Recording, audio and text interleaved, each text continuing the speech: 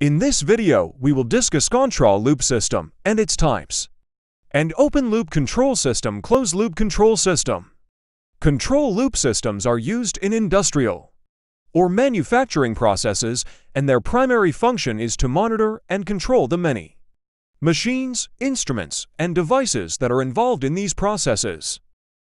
Types of control loops Open loop control system Closed loop control system Open loop control is a type of control in which the action taken by the controller is not dependent on the process output.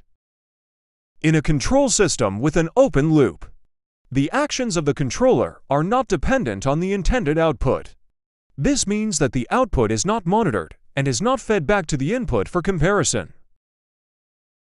Open loop systems don't have any checks and balances because they don't have a feedback system. In closed-loop control systems, the output is compared to the reference input and an error signal is made. The error signal is then sent to the controller to reduce the error and get the desired output. A feedback loop is an essential component of a closed-loop controller. This loop assures that the controller will always perform a control action to keep a process variable at the same value as the set point. Thanks for watching.